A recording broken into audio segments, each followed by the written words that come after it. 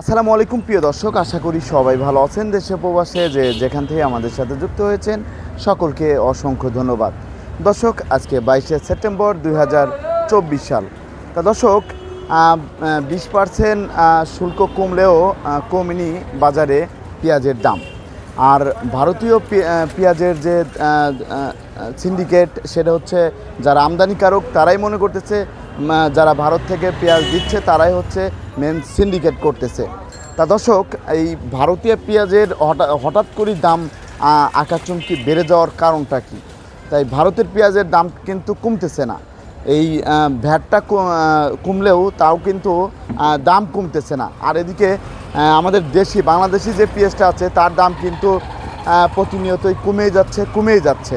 তা দর্শক, আজকের বাজারে আলু, পেঁয়াজ, রসুনের দামটা কেমন আছে? সেটা জানিয়ে দেবো। আর আমি এখন অবস্থান করছি এটা হচ্ছে শ্যামবাজার। শ্যামবাজারে তা আপনারা কিন্তু দেখতেই পাচ্ছেন, বা এই যে আমি অবস্থান করছি শ্যামবাজারে তার শ্যামবাজারে দামটা কেমন আছে? আলু, পেঁয়াজ, রসুনের সেরে জানব। সেই পর্যন্ত আমাদের সাথেই থাকুন। আপনারা কিন্তু দেখতেই পাচ্ছেন এদিকে এই যে সকল পেঁয়াজ, আদা তারপরে রসুন সব কিছুই কিন্তু আছে। তা দর্শক, এদিক দিয়ে এখানে আমরা দেখতে পাচ্ছি, এটা হচ্ছে সবই হচ্ছে দেশি পেঁয়াজ। এগুলো হচ্ছে সব দেশি পেঁয়াজ। তা কোন পেঁয়াজের দামটা কেমন যাচ্ছে সেটা আমরা জানব। আর এদিকে আরও আরও পেঁয়াজ আছে। এই যে এই পাশে হচ্ছে ইন্দুরের পেঁয়াজ। এই যে এগুলো হচ্ছে ইন্দুরের পেঁয়াজ। তা এই ইন্দুরের পেঁয়াজের দাম কেমন আছে সেটাও আমরা জানার চেষ্টা করব। আসসালামু আলাইকুম। ওয়ালাইকুম আসসালাম। কেমন আছেন ভাইজান? আলহামদুলিল্লাহ ভালো আছি। ভাইজান বর্তমানে আহ, বাজারে কি অবস্থা? বেচা কিনা কেমন হচ্ছে? বেচা কিনা কম। আগে সকালের চেয়ে তো বিকেলে বিকেলে অনেক কম। অনেক- অনেকটাই কম। অনেকটাই কম। অনেকটাই কম। এই যে আমরা দেখতে পাচ্ছি ভারতীয় পেঁয়াজের যে দামটা আপনিও তো জানেন আপনি একজন ব্যবসায়ী হিসেবে বিশ পার্সেন্ট যে কমে গিয়েছে শুল্ক। জি। ভ্যাট কমছে বিশ পার্সেন্ট কিন্তু পেঁয়াজের দাম তো কমে নাই। ভারতীয় পেঁয়াজের দাম তো অতিরিক্ত বেড়ে গিয়েছে। জি।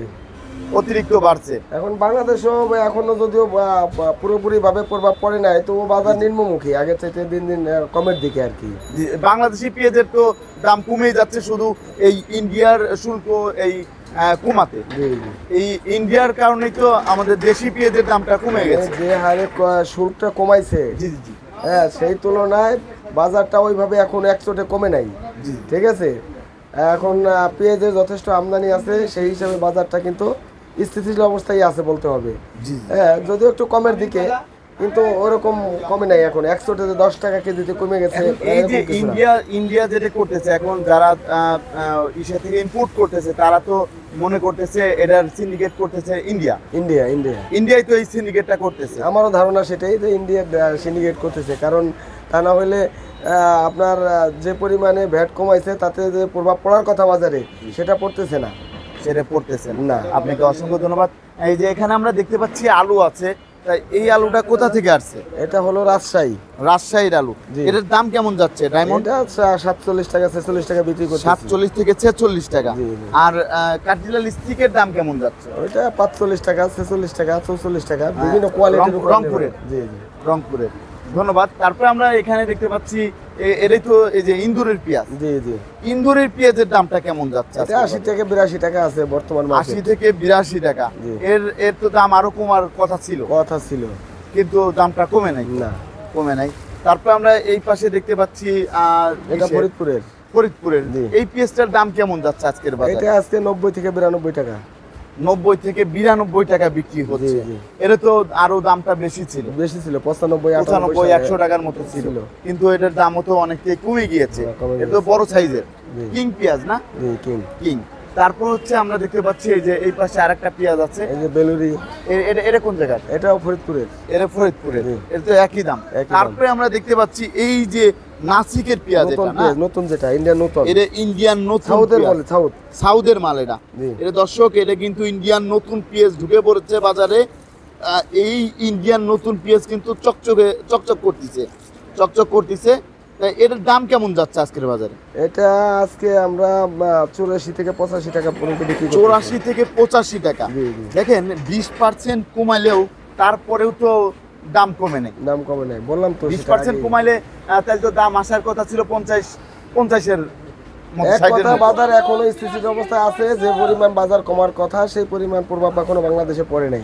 সেই প্রভাব পড়ে না। তারপর আমরা এখানে দেখতে পাচ্ছি বার্মার আদা আছে। এই আদার দামটা কেমন যাচ্ছে আজকের বাজারে? এটা আপনার কত বিক্রি হইতেছে সেটা আমি বলতে পারব না এটা অন্য তো এটা কোয়ালিটি ভেদে আদা বিক্রি হয়। কোয়ালিটি ভেদে আদা বিক্রি হয়। ধন্যবাদ। তারপরে আমরা এই পাশে আরও পেঁয়াজ দেখতে পাচ্ছি। এই যে এই- এই পেঁয়াজটা কোন জায়গার? এটাও ফরিদপুরেরই। এটা ফরিদপুরের এটার দাম কেমন যাচ্ছে? এটা নব্বই বিরানব্বই একানব্বই এরকম বিক্রি করতেছে। নব্বই বিরানব্বই করে বিক্রি হচ্ছে। আর পাবনার পেঁয়াজের দামটা কেমন যাচ্ছে? পাবনা ভালো কোয়ালিটি ভেদে আপনার একশো পাঁচ টাকা ছয় টাকাও আছে। 105 একশো দুই টাকা। আছে একশো পাঁচ টাকা আছে চার টাকা আছে। একশো পাঁচ টাকা চার টাকা এটা হচ্ছে পাবনার কি না? না দেশি? না এটা পাবনা। এটা হচ্ছে পাবনার এটাও পাবনা। এটা হচ্ছে পাবনা। এটাও পাবনা।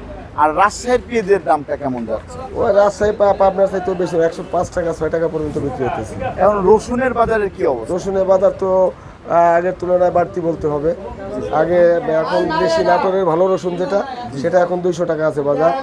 আর চায়না রসুন যেটা সেটা একশো পঁচানব্বই থেকে নব্বই। নব্বই এর ভিতরে বিক্রি হইতেছে। এর ভিতরে বিক্রি হচ্ছে। বর্তমান বাজার। আপনার ঘরের নামটা কি যদি আমার ঘরের নাম মেসাস আলহাজ বাণিজ্যালয়। আটত্রিশ বাই পাঁচ north brook hall road Shyambazar Dhaka. আপনার সাথে যদি কেউ আহ, কমিশনে ব্যবসা করতে চায় কীভাবে ব্যবসা আমরা পার্টির মাল বিক্রি করি আমাদের তিরিশ পয়সা কমিশন পেঁয়াজে আলুতে আলুতে তিরিশ পয়সা পেঁয়াজে চল্লিশ পয়সা। আদা রসুন এক টাকা পঞ্চাশ পয়সা। মাল দিলে আমরা বিক্রি করে দেই। আপনার মোবাইল নাম্বারটা যদি একটু। Zero one seven two eight two one eight one double one. এই নাম্বারে যোগাযোগ করলে তো। আপনার সাথে কথা বলতে পারেন জি জি আর এই যে যে ইন্ডিয়ান ইন্ডিয়ার যে অবস্থাটা এই অবস্থাতে তো আমাদের দেশে অনেক বড় একটা প্রভাব পড়তেছে। জি জি। তা আমাদের দেশে তো প্রচুর পরিমাণে পেঁয়াজ আছে। জি জি। এখনও তো অনেক পেঁয়াজ আছে। এখনও অনেক ইন্ডিয়ার পেঁয়াজ যদি না আসে সেক্ষেত্রে তো আমাদের দেশে কৃষকরা পয়সা পাবে এতে তো আমাদের কোনো সমস্যা নেই। এখন এই যে যে আমরা পেঁয়াজটা আনতেছি টাকা কিন্তু দিয়ে দিচ্ছি। জি। আমাদের টাকা দিয়ে দিতে হচ্ছে পেঁয়াজ আসতেছে। কিন্তু পেঁয়াজ এখানেই আমরা খেয়ে শেষ করে ফেলাচ্ছি। সেখানে আমাদের টাকাটা তো খরচ হয়ে যাচ্ছে। এই টাকাটা যদি আমাদের দেশেই থাকে সেক্ষেত্রে কেমন হয়? যদি তা বলতাম তো অবশ্যই অবশ্যই আমাদের জন্য ভালো। আপনাদের ব্যবসায়ীর জন্য ভালো আমাদের কৃষকের দেশের জন্য কৃষকের জন্য অনেক ভালো তো হয়। এই যে যারা আগে আগে যে যারা ব্যবসায়ী ছিল বড় বড় ব্যবসায়ী আমরা যতটুকু দেখে দেখেছি পেঁয়াজের ব্যবসায় এসে লস খেয়ে তারা একবারে এবছরও যারা ব্যবসা করতেছে গ্রামের থেকে মাল কিনে আমাদের শহরে আনতেছে বা আমাদেরকে এখানে নিয়ে আসতেছে তারা সবাই এবছর লোকসানে। অনেক সব অনেক লোকসানে হ্যাঁ। অনেক বাজার দেখা গেছে একদিন পাঁচ টাকা বাইরে গেছে বা দুই টাকা বাইরে গেছে ওই বাজারটা কখনোই স্থায়ী হইতেছে না। হ্যাঁ পরের দিনই আবার বাজার পড়ে যাইতেছে। এরকম একটা ব্যাপার। এরকম সারা বছরই এভাবেই চলছে। এতে করে এতে করে আমাদের যে ব্যবসায়ীরা এরা লসে লোকসানের মুখে পড়তেছে। আপনাকে অসংখ্য ধন্যবাদ। দর্শক অসংখ্য ধন্যবাদ। প্রতিদিনের বাজারের নিত্য নতুন আপডেট পেতে রাজবাড়ী টিভি টোয়েন্টি ফোর এর সাথেই থাকুন।